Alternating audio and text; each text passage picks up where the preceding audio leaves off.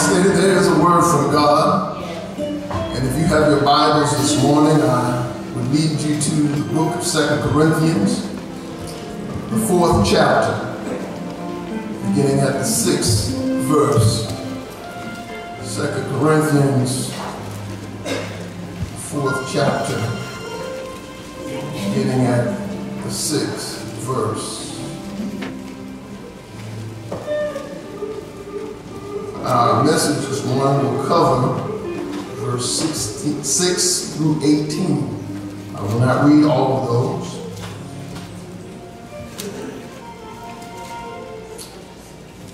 Second Corinthians 4 and 6. When you have it, please say amen. amen. Sounds like we are all there. Hmm, I will read reading from the NIV. Second Corinthians 4 and 6, my Bible reads, For God who said, Let light shine out of darkness, made his light shine in our hearts to give us the light of the knowledge of the glory of God in the face of Christ. But we have this treasure in jars of clay to show that this all surpassing power is from God and not from us. Amen. We are hard pressed on every side, but not crushed. Perplexed, but not in despair. Persecuted, but not abandoned.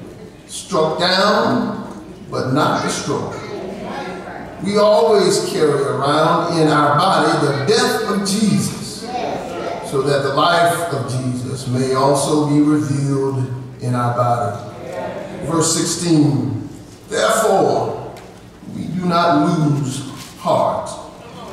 Though outwardly we are wasting away, yet inwardly we are being renewed day by day. For our light and momentary troubles are achieving for us an eternal glory that far outweighs them all. So we fix our eyes not on what is seen, but on what is unseen. For what is seen is temporary, but what is unseen is eternal. My our subject this morning, or our title for this message, will come from verse 16, which reads, Therefore we do not lose heart. That's a title I'd like to encourage you this morning, never lose hope. Never lose hope. Because of our faith, God hasn't forsaken us. Psalm 116 tells us that God will not and shall not abandon those who follow him unto the realm of death. Live like you believe that. That's my challenge to you this morning. Live like you believe the word of God. Amen. That will change the trajectory of your life. Yes. It will cause you to rise above the despair. It will cause you to lift your head high. It, will always change things around you because those things will happen. Jesus said in this world, there will be trouble. But he also said that don't worry about that because I've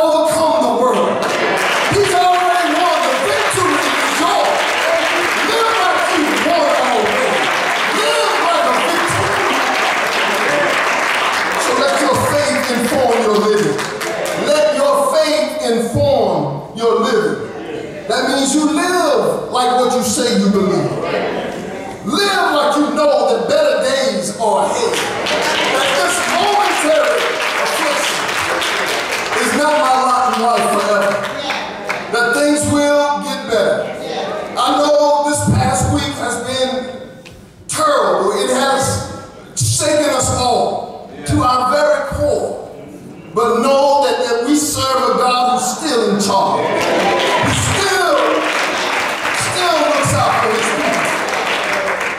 Finally, don't lose hope because God is still in charge. Don't lose hope because this is not your final chapter in life. Don't, don't lose hope because there are, there are the things that you are able to see because of the promise. The promise of God. Rest in your life. Nothing that you go through can steal the promise. You have been given a treasure deep down inside. And because God has guaranteed that treasure, there is no way for you to lose it. Because God has guaranteed your life. They might be able to harm this old body. That's all right. They, they might be able